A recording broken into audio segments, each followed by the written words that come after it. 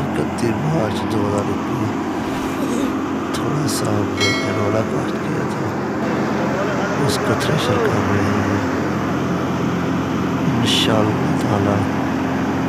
ये करोना हमारे घर की ज़रूरत के लिए काफ़ी होगा अल्लाह ताला इसमें बरकत डाले माशाल्लाह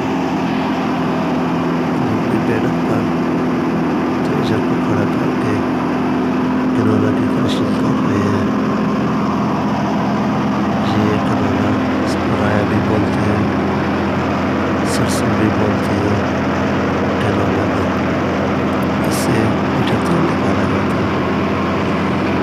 मीठा तो तेल सरसों का तेल भी हैं